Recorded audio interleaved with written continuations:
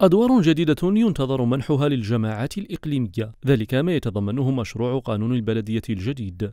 قانون سيعزز أداء المجالس المنتخبة ويمنحها صلاحية أوسع في اتخاذ القرار وجلب الاستثمار. قانون الجماعات المحلية راهو راح يكرس تعزيز الموارد الجبائية والمالية للجماعات المحلية.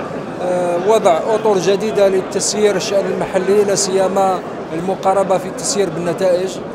وبالتالي وضع الجماعات المحلية في إطار سياق جديد اللي هو سياق المبادرة الاقتصادية الاعتماد على النفس آه، تثمين الموارد المحلية. في انتظار مصادقة البرلمان على قانون البلدية الجديد يرى رؤساء مجالس شعبية أن هذا القانون سيساعدهم على التقرب أكثر من المواطن. رئيس البلدية هو النواة الأولى داخل التكوين تاع الدولة وهو في الواجهة الأولى مع المواطنين والمشاكل خاصة بالنسبة قال بالنسبة توفير يعني مداخل البلدية وكذا.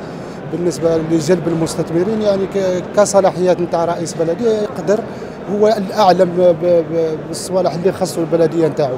هذا الشيء هذا اللي يخلي إن شاء الله يكون فيها يكون فيها يكون ان سورسو في التنمية المحلية في الأخذ القرارات وخاصة في كما يقولوا le règlement des problèmes تاع المواطن le plus rapidement possible 2019 ستكون سنة الجماعات الإقليمية.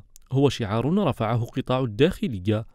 فالقانون الجديد ينتظر منه إسناد أدوار اقتصادية للبلديات بدل اقتصارها على الخدمات الإدارية.